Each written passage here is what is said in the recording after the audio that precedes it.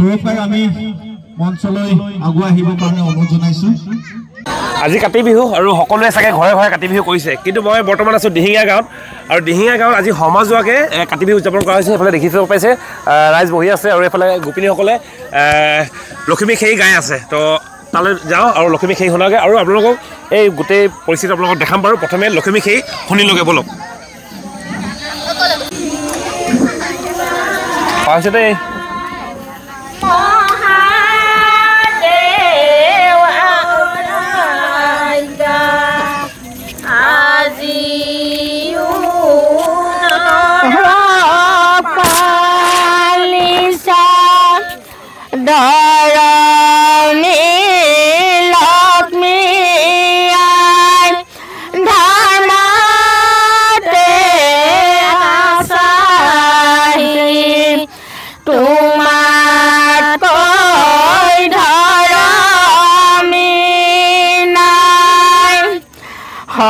pha.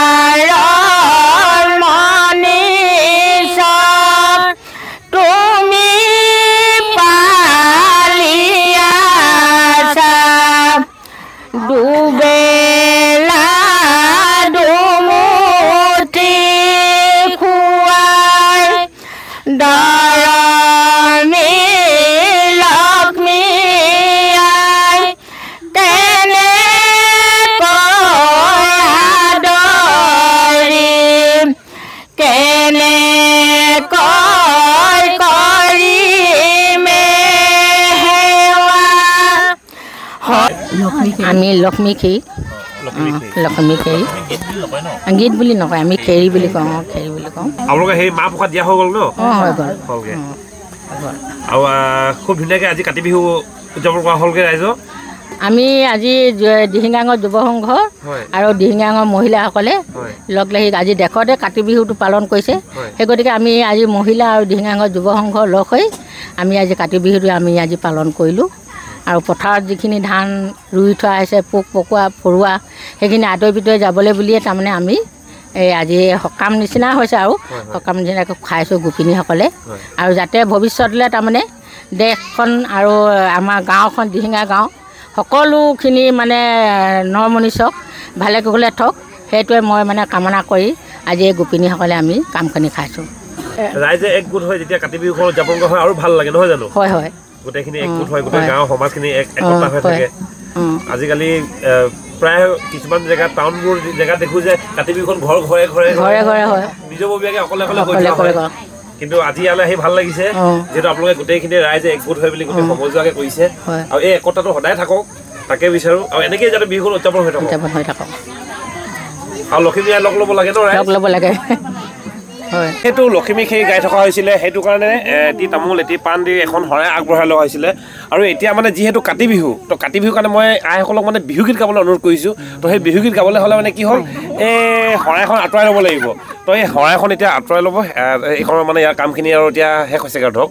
তো ইয়াক শৰাইখন আঁতৰাৰ পাছত এতিয়া বিহুগীত গাব। তো আপোনালোকে বিহুগীত চাবলৈ ৰৈ থাকক। এতিয়া ইয়াৰ পাছতে বিহুগীত গাব দেই।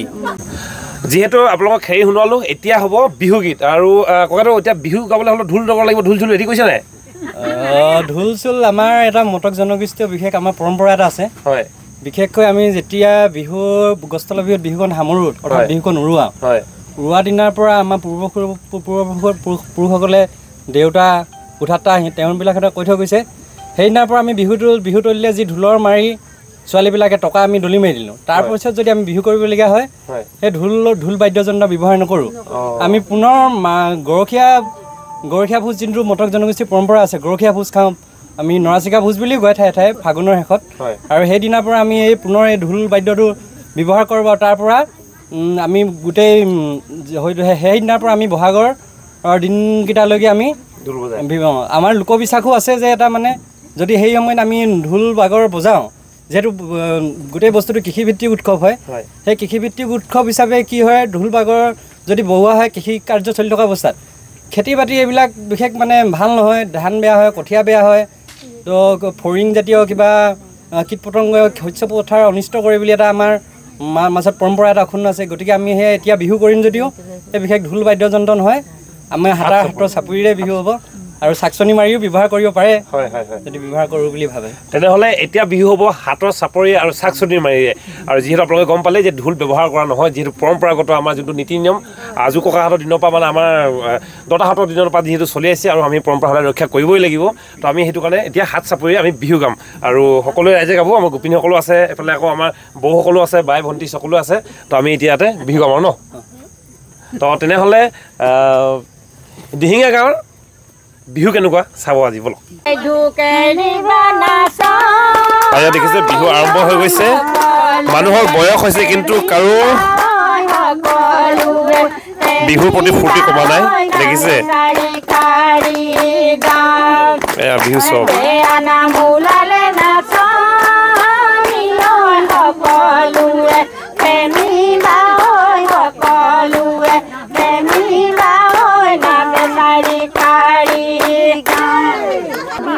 গলে ঐ মৰম ছবি থাকি যাব ছবি থাকি যাব ঐ কিতাপৰ মাজত ঐ তুমি এৰি গলে ঐ মৰম মৰম নো থাকি যাব অ মৰম নো থাকি যাব এখনি হৃদয়ৰ মাজত আৰু এয়া ককাইদেউসকল আৰু এয়া হৈ গ'ল আমাৰ দিহিঙীয়া গাঁৱৰ যুৱ সংঘ। যুৱ সংঘৰ ককাইদেউসকল আৰু এই ককাইদেউসকলৰ তত্বাৱধানতে আজি এই কাতি বিহুখন উদযাপন কৰা হৈছে। আৰু আপোনালোকে কিবা এখন থিয়েটাৰ নিছে অহা অহা ইংৰাজী ত্ৰিছ অক্টোবৰ একত্ৰিছ অক্টোবৰ আৰু এক নৱেম্বৰ তাৰিখে আমি দিহিঙাঙৰ যুৱ সংঘৰ উদ্যোগত সুদূৰ ডেৰগাঁৱৰ পৰা এখন ভ্ৰাম্যমান থিয়েটাৰ পাৰিজাত থিয়েটাৰ আমি নিমন্ত্ৰণ কৰিছোঁ।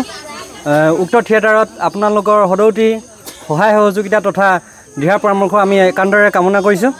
আপোনালোকে যদি থিয়েটাৰ চাম বুলি ভাবিছে তেতিয়াহ'লে তেইছ একত্ৰিছ আৰু এক নৱেম্বৰ তাৰিখে আহিব আৰু খুব ধুনীয়াকৈ থিয়েটাৰখন আহিব আপোনালোকে ৰাইজক লগ পাব ধুনীয়াকৈ থিয়েটাৰখন চাব পাৰিব আপোনালোকে আহিব আৰু দিহাঙলৈ আহিলে হৈ গ'ল আৰু ন? ধুনীয়াকৈ আপোনালোকে চাব পাৰিব ত্ৰিছ একত্ৰিছ আৰু এক তাৰিখে।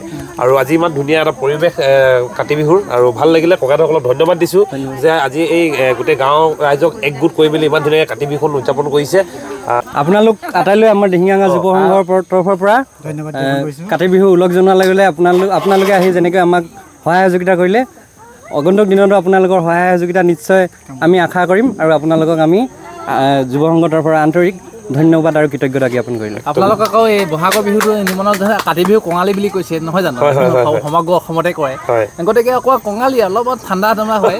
বহাগত আহিব গছ তলৰ বিহু কেনেকৈ উপভোগ কৰে। আপোনালোকে দেখাব বুলি আশা কৰিছোঁ নিশ্চয়।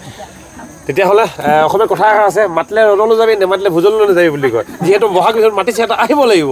আৰু বহাগ বিহুত আহি মেলি আপোনালোকৰ গছ তলৰ বিহু আপোনালোকক খুব ধুনীয়াকৈ দেখাম বাৰু দেই। আজি ভিডিঅ'টো ইয়াতে সামৰিছোঁ। বেলেগ এটি ভিডিঅ' আকৌ লগ পাম। জয় অসম। কৃষ্ণ। তেতিয়াহ'লে ক্ষমা কৰিব। শুনা শুনা।